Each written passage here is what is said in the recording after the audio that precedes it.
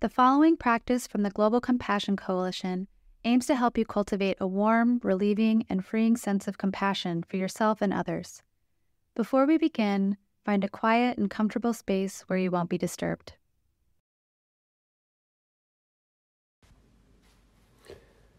I'd like to invite you to consider what's present in your heart just now. What emotions are arising? Perhaps you're feeling uncomfortable, uneasy, suffering in some way. Something weighs on your heart or weighs on your mind. Maybe you are attending to things around you in your immediate environment or in society at large, or in the world. Perhaps you are feeling fear, discontent, outrage, nervousness, unsettledness, worried, angry.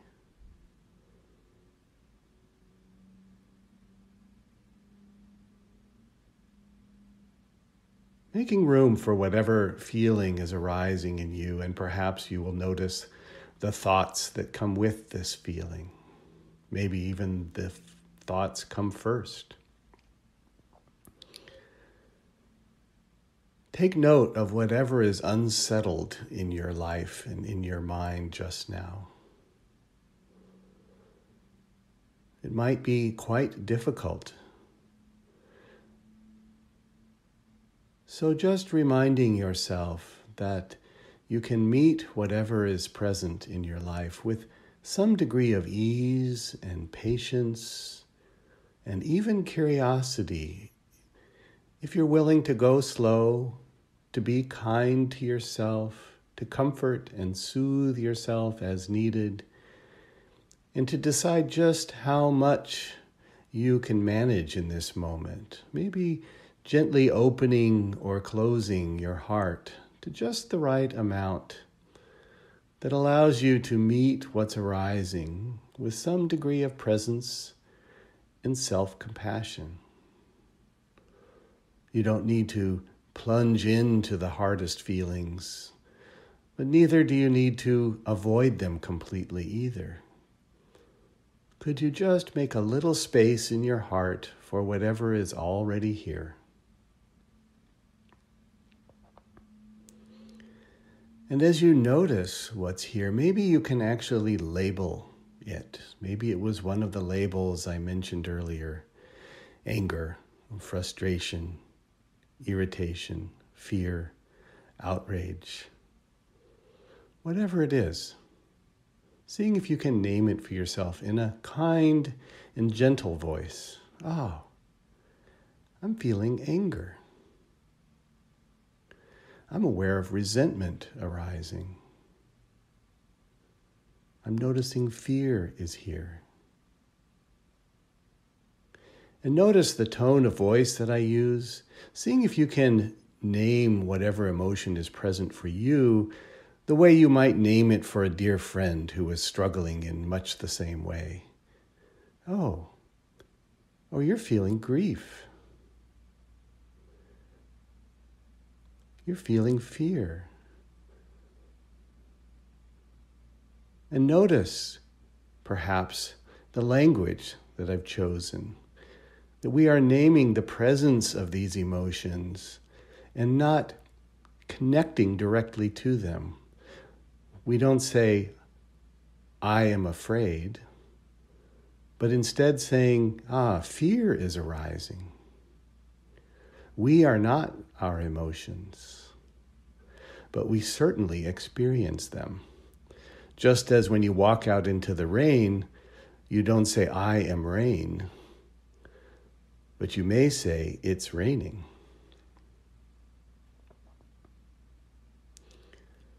See if you can name the strongest, difficult emotion that's present for you just now.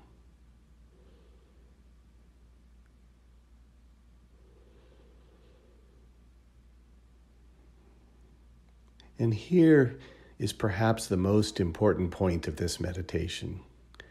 Consider that whatever difficult, strong emotion is present for you just now, something you may be struggling with, the reason it's arising is because there's something underneath, something that is deeply held and valued by you. So if you are angry at injustice, that means down deep inside what you value very dearly is justice. If you're feeling fear of your safety, what you value is safety and comfort. If you fear for the future of our planet, for, for example, what you value is security, safety, nature.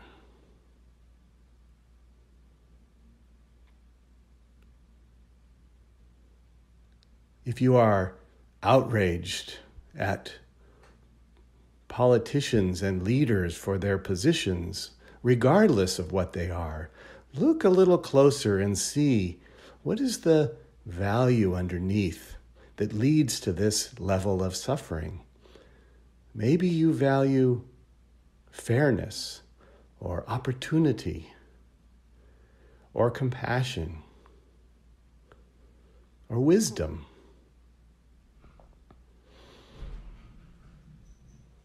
What is a core value that leads you to have these strong feelings?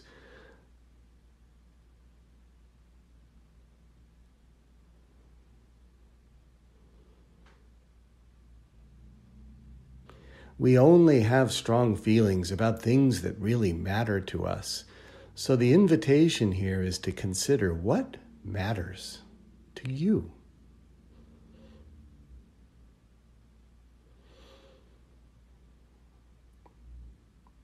If justice matters, if fairness matters, if kindness matters, if security, safety matter, if nature matters, could you make some space for that value? Treasure that value. Even savor that value.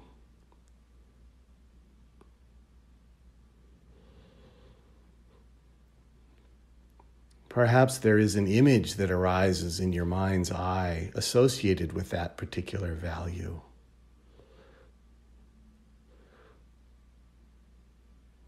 Perhaps if it's nature, there is a favorite place in nature that brings you joy and satisfaction. Maybe calling to mind that place.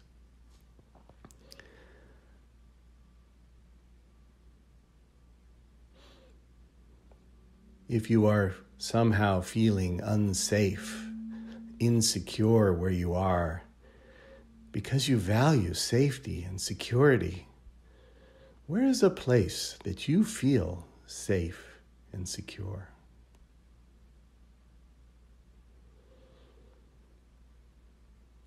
If you're valuing fairness, opportunity, what is it that represents these qualities, these values, when you call them to mind? Maybe you can visualize a world that is fair, whatever that may mean for you, a situation that becomes equitable to all those involved. Letting yourself feel what it feels like to fully embrace this deeply held value. Maybe noticing how it feels in your body.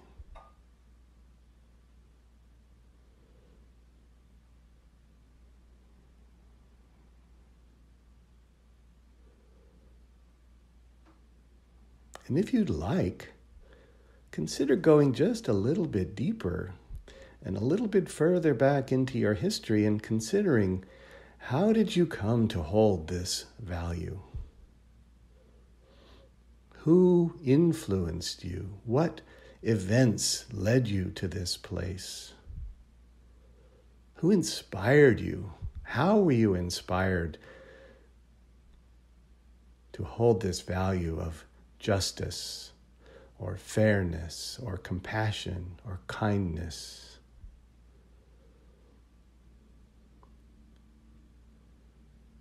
What were the experiences? Who were the people?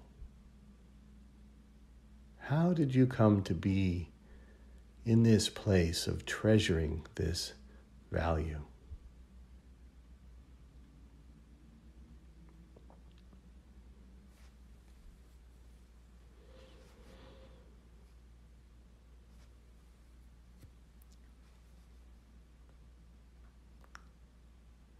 And finally, considering this possibility with this value firmly entrenched in your heart, clearly held in your mind, in your mind's eye, honoring the roots, the contributors to this important value, this thing that you hold so precious and sacred in your heart.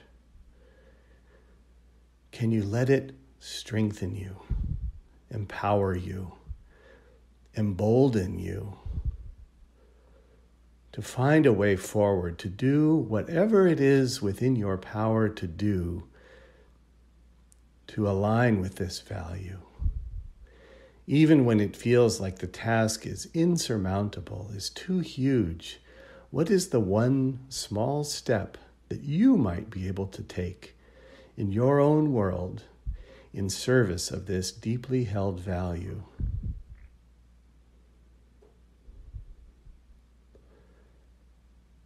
And can you feel strengthened by making space for this value? Maybe making a vow to yourself to remind yourself of this value every day,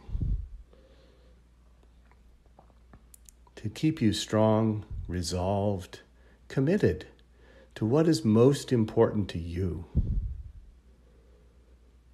This does not have to be a passive exercise.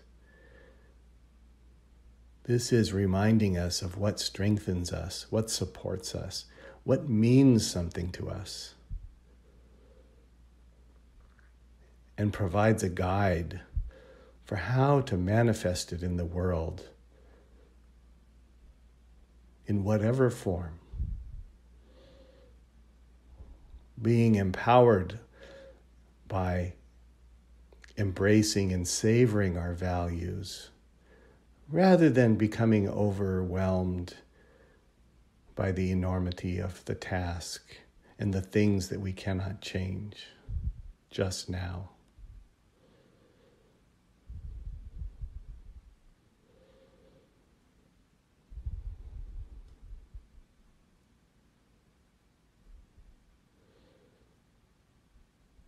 Taking a moment to drop into this body to breathe, to appreciate this being human, to appreciate these deeply held, deeply important values, to savor and appreciate them and let them energize us to be the change we wish to see in the world, to quote Mahatma Gandhi.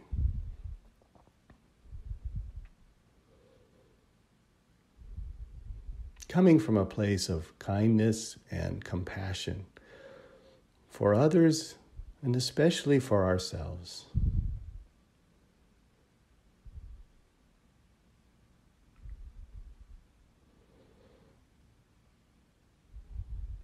And as you're ready, if your eyes have been closed, allowing them to open, give yourself a little time to pause and reflect and consider returning to this savoring our values practice from time to time, to touch in, to reconnect to what's most important to us underneath the suffering and the struggle, the things that we wish for in our lives, in our society, in our, on our planet. reconnecting to this inner strength and letting it empower us to do what needs to be done, what is possible to be done, and perhaps letting go of what we cannot change.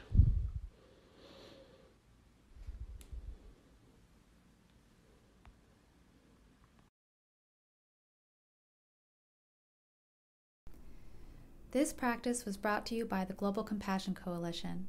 To access more practices and meditations like the one you just heard, as well as resources on integrating compassion into your daily routine, make sure to subscribe to this podcast and visit our website at globalcompassioncoalition.org.